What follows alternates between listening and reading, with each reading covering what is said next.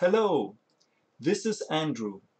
Today I would like to show you how non-multitimbral VST plugin instances can be adapted to a multitimbral folder structure in the DAW Reaper.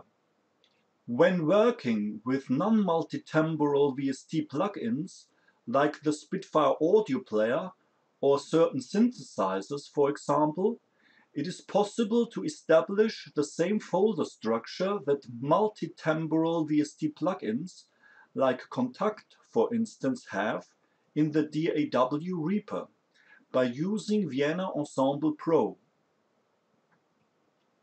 Kontakt is a multi-timbral plugin and therefore it is possible to use it in this way that several patches can be loaded into one instance of Kontakt.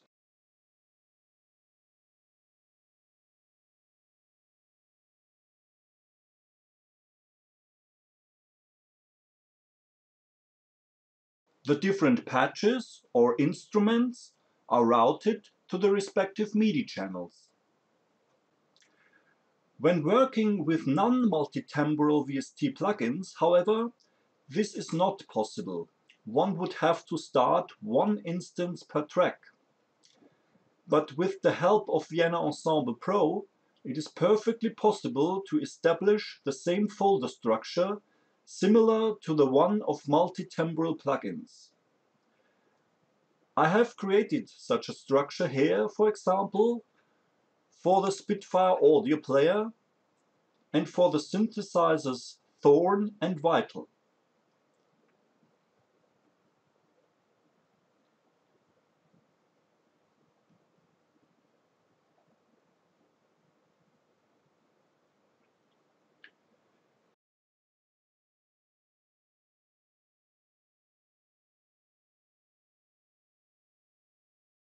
In Vienna Ensemble Pro, the structure looks like that.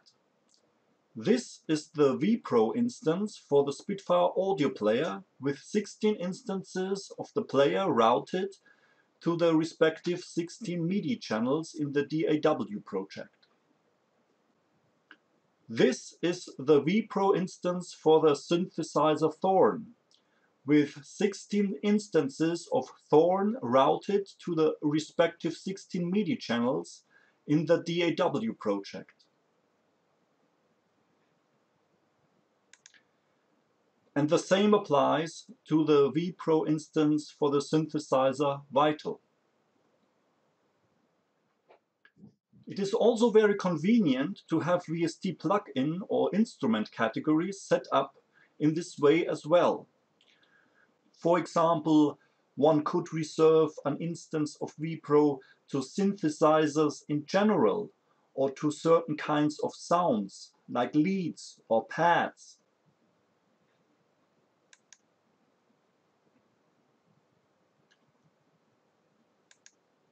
This instance of VEPro is occupied by several synthesizers that are reserved to produce lead sounds. And this instance of VEPro is assigned to pad sounds. And this structure corresponds to the folder structure in the DAW.